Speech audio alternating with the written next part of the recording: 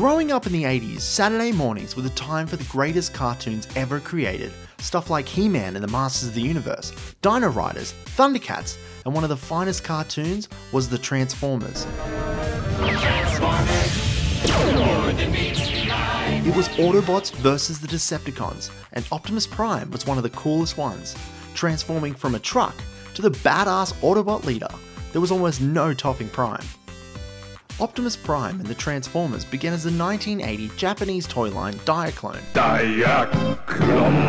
Diaclone Rescue 隊員彼らの乗る車はロボットに代わり救助に活躍するメカが光るダイアクロンカーロボット a collection of nameless robots able to transform into everyday cars, trucks, planes, and weapons. The series of toys were created by Ono Kojin, and created by Takara Toys as an extension for their Microman toy line. After using the Microman toy line to create the very successful G.I. Joe line, Hasbro saw the potential of the Diaclone toys and partnered with Takara to rebrand the toy line as the Transformers. For the character names and bios, Hasbro worked with Marvel Comics writers Jim Shooter and Dennis O'Neil to create the characters and their names, and Bob Budiansky to create the backstory. O'Neil is credited with giving Prime his actual name.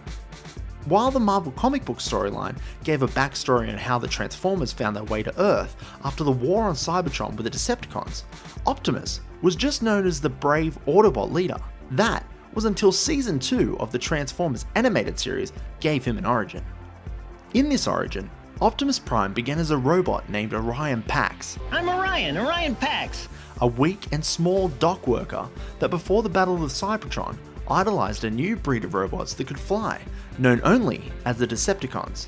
He believed that he was doing a good deed working alongside Megatron, until Megatron, the leader of the Decepticons, and his forces attacked Orion in order to steal Energon. Badly wounded, Orion Pax was taken to the ancient Autobot Alpha Trion, who used him as the first subject for the new reconstruction process, a process that is very akin to the Super Soldier Serum from Captain America.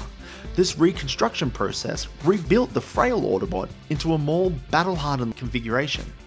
With his new body, Orion Pax became Optimus Prime, the first of the Autobot warriors.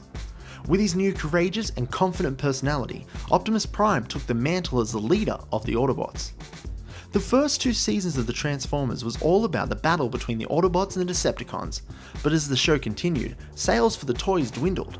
Believing that Optimus Prime's popularity was falling, Hasbro funded an animated movie with Marvel and Sunbow, which would introduce all new Transformers and would see the death of Optimus Prime.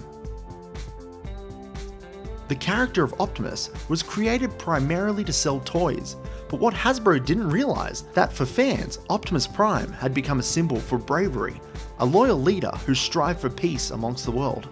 He not only inspired his Autobots, but he also inspired a generation of children. Killing him off was seen as a betrayal against the fans of the series. One shall stand, one shall fall. The studio received endless hate mail and death threats from fans and parents. The backlash resulted in a quick return of the character at the end of the following season. I've done it. Optimus Prime lives. Our leader is back. Yes, Skylings. And now no force in the universe will stop me. But the fans didn't return to the series and the show was cancelled three episodes later. Optimus Prime has seen many forms over the years, from countless animated TV shows to live action movies and action figures. However, while his look might differ from year to year, his basic outline has always remained the same. The brave, battle hardened leader of the Autobots remains the most loved and iconic character from the Transformers universe.